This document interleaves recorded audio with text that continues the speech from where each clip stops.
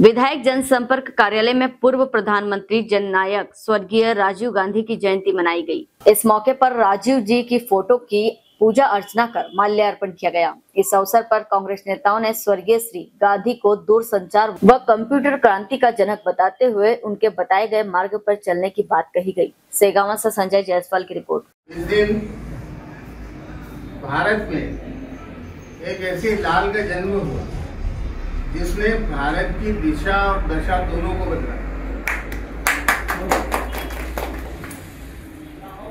जहाँ दूरसंचार क्रांति के जनक माने जाने वाले हमारे राजीव गांधी जी पंडित जवाहरलाल नेहरू की विकास की धारा को आगे बढ़ाने का संकल्प लिया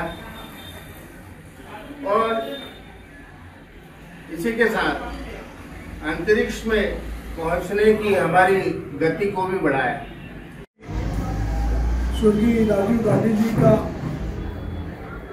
20 अगस्त उन्नीस को जन्म हुआ था और हम आज उनकी उन्यासी, सेवेंटी नाइन उन्यासी जयंती मना रहे हैं।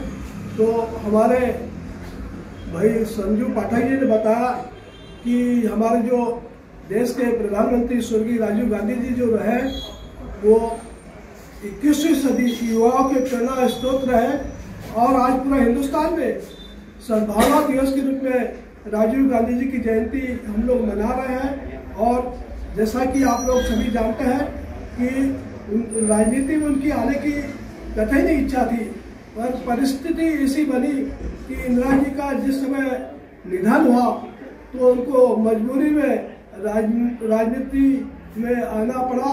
तो हम लोग आज इस कार्यक्रम में उपस्थित सभी मेरे पार्टी के समस्त कार्यकर्ता बंधुओं से मैं निवेदन करना चाहता हूँ कि आने वाले विधानसभा चुनाव में एकजुटता से मजबूती के साथ कांग्रेस पार्टी को जिताएँ। हेलो फ्रेंड्स आप देख रहे हैं हमारा channel S W twenty four news हमारे सारे वीडियो सबसे पहले देखने के लिए आप हमारे चैनल को सब्सक्राइब करें और पास में लगे बेल आइकोन को दबाना बिल्कुल भी ना भूलें।